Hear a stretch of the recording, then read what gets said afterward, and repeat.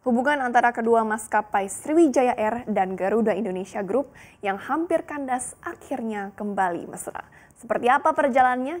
Kita lihat bersama dengan Garuda Sriwijaya CLBK. Cinta Lama bersemi kembali. Pada 9 November 2018, Citylink Indonesia, anak usaha dari Garuda Indonesia, mengambil alih pengelolaan operasional dari Sriwijaya dan juga 6R. Ini masuk ke dalam agreement yang disebut sebagai KSM atau kerjasama manajemen.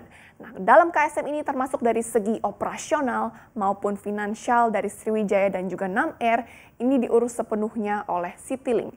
Tidak cuma-cuma kerjasama ini tentunya Sriwijaya harus memberikan kerjasama fee kompensasi yang sebesar 5% kepada Garuda Group, kemudian juga dari laba usaha harus ada bagi hasil sebesar 65%. Tetapi hubungan keduanya tidak diawali dengan sesuatu yang manis, tetapi didasari oleh utang yang menggunung. Dan kita lihat ini seberapa besar sebenarnya utang yang melilit dari Sriwijaya Air.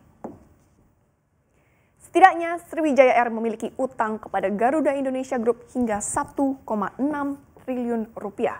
Belum lagi piutang usaha sebesar 709 miliar rupiah Kemudian utang 1,6 triliun ini bahkan kita lihat ini adalah jumlah yang terus meningkat kalau kita bandingkan dengan tahun lalu di Desember 2018 eh, sebelum di mana baru saja terjadi kerjasama. Justru setelah kerjasama ini malah meningkat lebih dari dua kali lipat kalau kita lihat di sini. Sriwijaya juga memiliki utang dengan beberapa BUMN lain seperti contohnya dari Pertamina ini sebesar 942 miliar rupiah. Kemudian dengan Garuda Maintenance Facility eh, Garuda Maintenance Aero Asia ini sebesar 810 miliar rupiah. Dengan Garuda Maintenance ini, Sriwijaya berutang atas jasa perbaikan dan perawatan pesawat atau Maintenance, Repair, and Overall, biasa disingkat dengan MRO. Kemudian dengan Bank Negara Indonesia juga Sriwijaya berutang sebesar 585 miliar rupiah dan dengan Angkasa Pura 1 dan Angkasa Pura 2 masing-masing sebesar 50 miliar rupiah dan juga 80 miliar rupiah. Ya. Jadi jumlah yang memang tidak sedikit ini mendorong kerjasama antara Garuda Indonesia dan juga Sriwijaya Air dengan tujuan untuk membantu perbaiki kinerja. Hampir berjalan setahun, hubungan mereka pun retak. Berbagai konflik pun mewarnai keduanya. Kita lihat apa saja konflik yang mewarnai keduanya. Nah, pada saat awal terjalinnya kerjasama ini terjadi pergantian direksi di mana Garuda Indonesia ini memasukkan beberapa personilnya ke jajaran direksi dari Sriwijaya Air. Namun pada 9 September lalu Dewan Komisaris Sriwijaya Air memutuskan untuk merombak direksi dari Sriwijaya. Siapa saja? Yang pertama adalah Joseph Adrian Saul selaku Direktur Utama, digantikan dengan Anthony Raymond. Kemudian Direktur Sumber Daya Manusia Harkandri dan juga Direktur Komersial Joseph Katendean juga diberhentikan dari Sriwijaya. Dan tidak hanya dari sisi Sriwijaya, Garuda Indonesia juga mencabut logo Garuda Indonesia dari armada-armadanya yang saat itu sudah ada ada di Sriwijaya Air.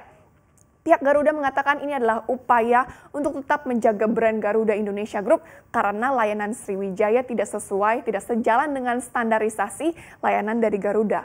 Kemudian ini berujung pada gugatan dari Citylink atas One Prestasi dalam perjanjian bisnis.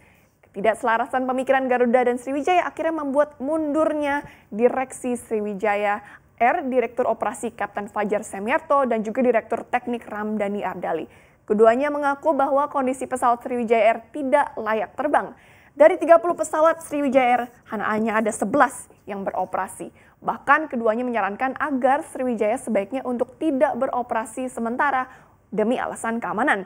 Dengan berbagai masalah yang mewarnai Garuda Indonesia tetap bersikeras untuk melanjutkan kerjasamanya dengan Sriwijaya Air. Kita lihat Nah, inilah pernyataan yang dikemukakan oleh Direktur Utama Citylink pihak Garuda Indonesia masih berharap untuk melanjutkan komitmen kerjasama antara keduanya.